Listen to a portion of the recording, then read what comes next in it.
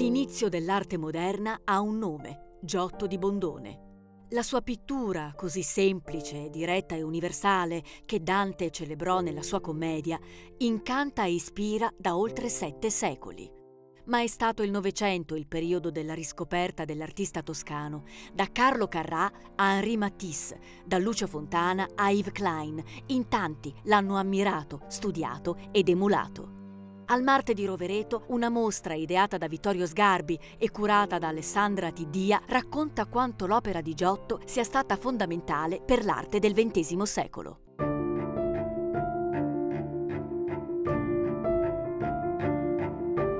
Giotto è un artista consacrato della storia e però il Novecento ne intende l'assoluta attualità.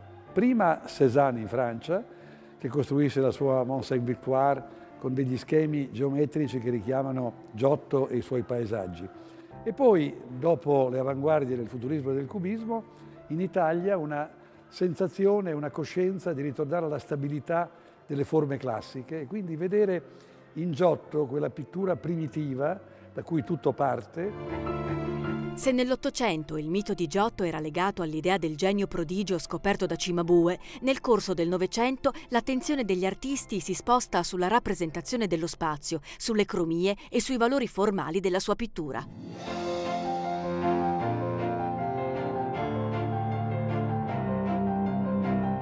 Uno dei primi ad instaurare un dialogo con la sua opera è Carlo Carrà.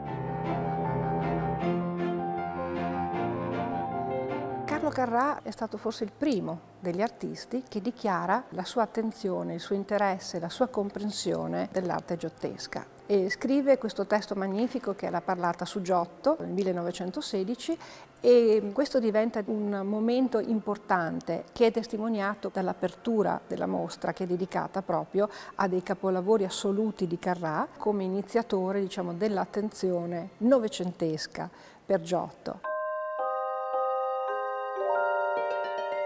Come Carrà, anche De Chirico, Giorgio Morandi e Carlo Bonacina ricercano nell'opera di Giotto la purezza delle linee e la solidità dei volumi, mentre Mario Sironi e Arturo Martini reinterpretano soprattutto la sua monumentalità. Nei loro lavori, donne e uomini, imponenti e maestosi, abitano lo spazio, lo trasformano e spesso lo oltrepassano. Martini è scultore, ma la forma plastica, cioè la consistenza dello spazio, delle montagne, degli alberi, le presenze sintetiche che sono nell'opera di Giotto, nella Cappella degli Scrovegni e anche ad Assisi, sono il punto di partenza per le forme pure e assolute delle sculture di Martini. Quindi i più importanti maestri, dopo le avanguardie futuriste, guardano Giotto come un nuovo inizio. Quindi Giotto è per loro l'equivalente di quello che in tutto il secolo è stato Picasso. Giotto è Picasso.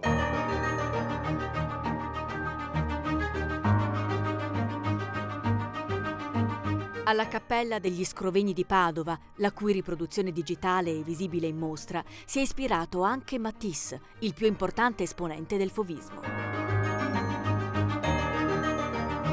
Matisse in tre occasioni ha modo di vedere la Cappella degli Scrovegni e nel suo Icaro, che qui mostra, abbiamo esattamente la stessa stella che ricorre nel cielo degli Scrovegni. E questo fascino che questa grande eh, rappresentazione riesce a esercitare fa dire a Matisse quando alzo gli occhi e vedo il cielo di Giotto, non mi interessa sapere quale storia di Cristo davanti, ma vengo, dire, coinvolto nel sentimento del colore, delle linee. Il ritmo, la semplicità e il colore per l'artista francese dovevano stimolare il piacere dei sensi e come già Giotto aveva intuito nel 1300, per suscitare emozioni non è necessaria una vasta gamma cromatica.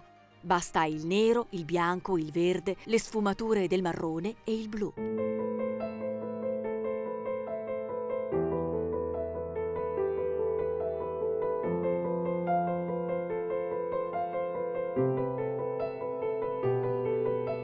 Novecento è attraversato da questa attenzione verso la semplicità, verso i valori eh, molto mh, immediati e, e, e plastici. E la mostra cerca di mettere in relazione proprio tutti questi elementi, fino ad arrivare all'astrazione del blu di Klein, che è un blu energetico, potente, una specie di magnete che ci cattura all'interno della mostra e che appunto Klein dichiara di aver assunto dalla sua visita ad Assisi nella Basilica di San Francesco. Ed è lì che nasce appunto questo amore sconfinato di Klein per questo colore che è il colore dell'assoluto, è il colore dell'infinito.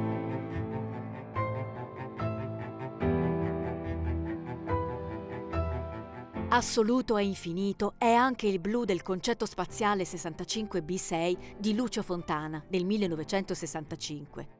I cieli stellati dipinti a Padova e Assisi qui diventano costellazioni. Mentre nelle opere di Fausto Melotti e Marc Rochko il pigmento diventa materia quasi palpabile. Rochko, in uno dei suoi scritti, aveva definito tattile il colore di Giotto. Ecco, una persistenza di Giotto in una memoria inconsapevole dell'ultima parte del Novecento.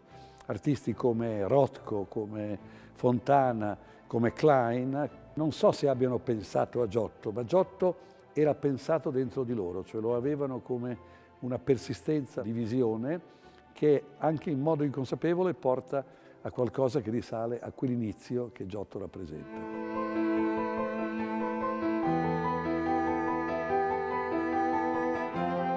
In esposizione nelle sale del MART ci sono oltre 200 opere divise in sette sezioni tematiche, con lavori di artisti anche meno noti, il cui linguaggio moderno e contemporaneo è stato influenzato da Giotto. Si chiude con Tico Blu di James Turrell, una stanza in cui il colore diventa luce. Quest'installazione, insieme a Giotto Behind the Mirror dell'italiana Chiara Dinis, dimostra che la potenza ispiratrice del pittore trecentesco ancora non è esaurita.